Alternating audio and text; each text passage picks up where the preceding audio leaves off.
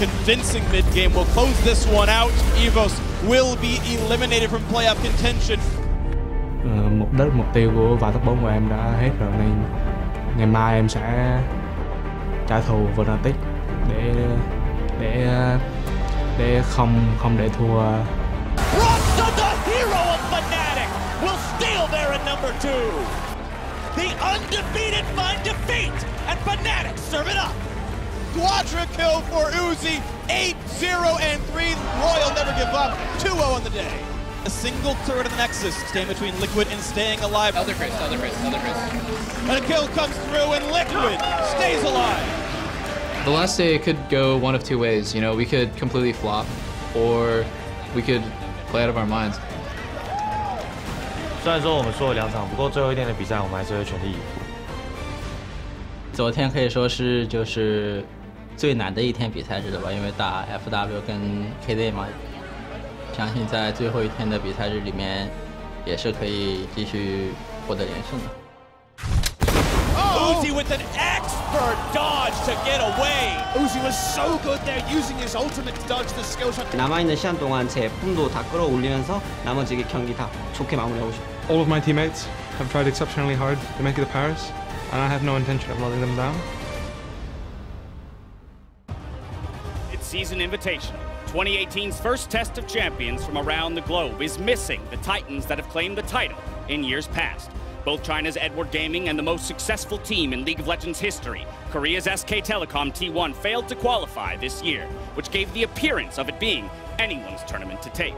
Still, the world's eyes fell on the representatives from the LCK, Kingzone Dragon X, to dominate the competition and claim the mantle of world's best until season's end.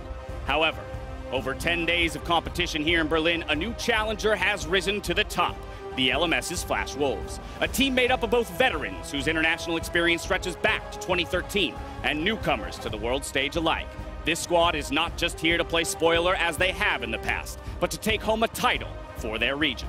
Through the group stage, they have gone above and beyond to lead the pack, being the only team to secure their semifinal spot in Paris. And so, on our final day of play, we turn our attention to the four teams fighting for the three remaining seeds. First, among our challengers is the number one team from that historically dominant league, Korea's Kingzone, the pre-tournament favorites. With the legacy of the LCK's five world championships on their shoulders, they must shirk the cold, calculated, and precise style of play their region is known for, returning to their roots in an aggressive, dominating show of force if they want to continue Korea's legacy. They'll have to go all in since hot on their heels is the LPL's Royal Never Give Up, a world stage regular since 2013, this team has never had more momentum than they do right now. Considered to be one of the best ever to play in the bot lane, their AD carry Uzi has finally adorned his trophy case with a regional title, and now has his eyes set on the international prize. The hometown favorites and season one world champions, Fnatic, are here at MSI for the first time since 2015 after toppling the four time European title holder in G2 Esports. While they've shown some brilliance here in Berlin, they've also seen some struggles, and now they put their faith in the rising star Caps to carry the team to the semifinals. And finally, there's Team Liquid. No longer in the shadow of North America's longtime international representative TSM, this dark horse is still not in control of its own destiny. Despite a rough start, they've clung on to their hopes and fought for their lives to keep the City of Lights on the horizon. We've seen one team do it in the past make a miracle run after an 0-4 start, and Liquid will have to rise above that very team today to do so. Now, there are just six games left to decide which three teams will join the Flash Wolves in the MSI semifinals and add another chapter to the history books. Stay right there, because the action starts right now.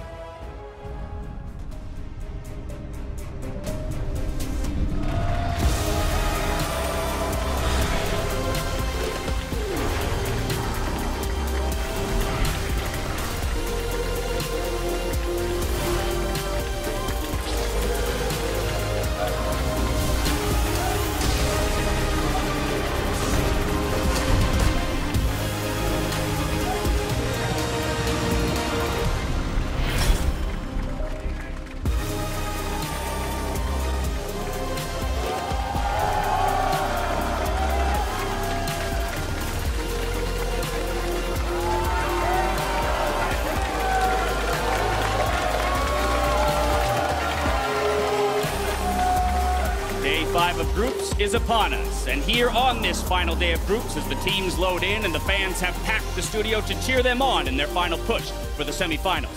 I'm joined by our analysts, Indiana Froskurinn Black, Isaac Azael Cummings Bentley, and Joshua Jatt Leesman. I think I still have goosebumps after that intro. Great work, Dash. oh, thank you very much. I mean, it's not hard to do when the tournament has shaped up the way it has. And I'm just saying, yesterday we had two NA analysts on the desk, and we had two Team Liquid victories. I'm liking where your head's Optimistic at chat right off the top we'll of see the what show. Happens, That's really. what I like to see. I mean, I just think we're, we've been so privileged to have such a competitive event, you know, where five of the teams are still in the running for the semifinals on the last day. Uh, so incredibly excited for the games to start. All right, well, as a refresher, let's bring up the standings to check out where our teams have fallen coming into day five. Yeah, important to point out that only Flash Wolves are actually qualified for the bracket stage right now. There are still four teams that could technically get the number one spot in the tournament, and as Azael mentioned, five teams that can make the knockout stage. And while Team Liquid, you know, can still make the top four, they're not in control of their own destiny because, you know, a 2-0 day from Fnatic, for example, you know, could completely eliminate them from contention. I mean, that said, it's not just Team Liquid that are looking for their Mm-hmm. hope, their glimmer at their placement. There's also Royal Never Give Up, who could possibly take the first place or at least force a tiebreaker for it. Yeah, both RNG and Kingzone do lock with a win today. They're also in contention for a first place, depending on how the games play out.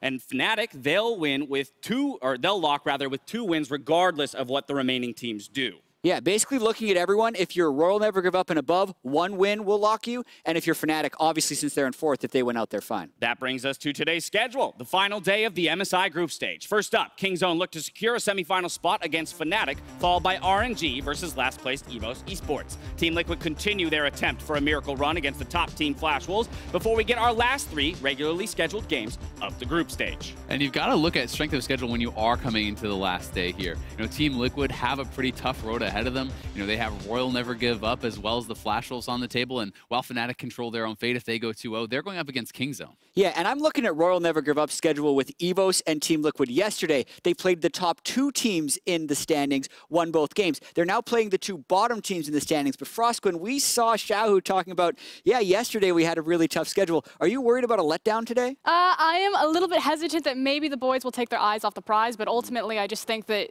with the way that they're playing, if they just continue to form it, they just continue to play around Uzi, they should roll over these last two teams. All right, well, taking these team strengths into account, you guys have given us your predictions for today, so we're going to take a look at those, of course, for all six. Okay.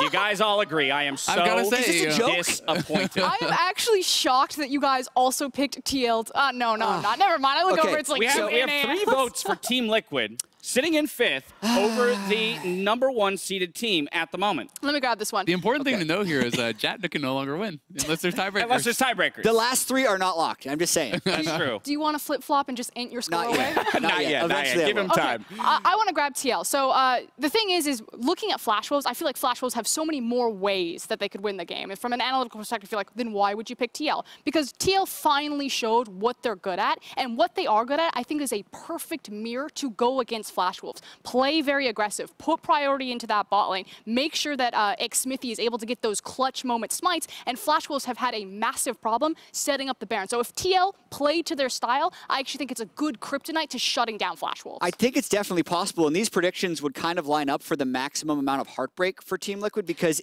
in this scenario, that final game would mean Team Liquid could force a tiebreaker with a win. But I also need to point out that none of us, including all of the guests, have had a perfect 6-0 prediction day. That's so true. I'm hoping that that last one is wrong That's why for I'm here everyone. for today.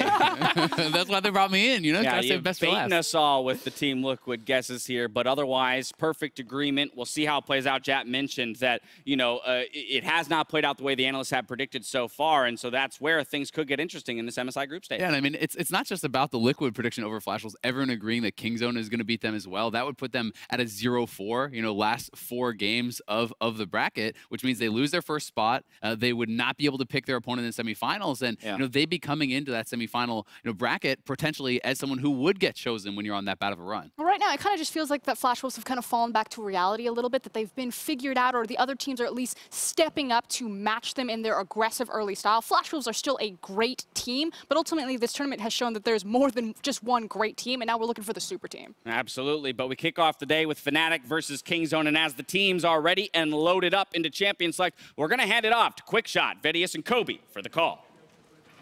Thank you very much, Dash, and welcome, ladies and gentlemen, to the final day of the group stage here at MSI 2018. There's still a lot on the line. I'm joined by Kobe and Vedius, and we're jumping straight into picks and bans. There's a lot on the line today, Kobe. There really is. I mean, Kingzone, there's so much to dive into. They look like much more of a beatable opponent for Fnatic than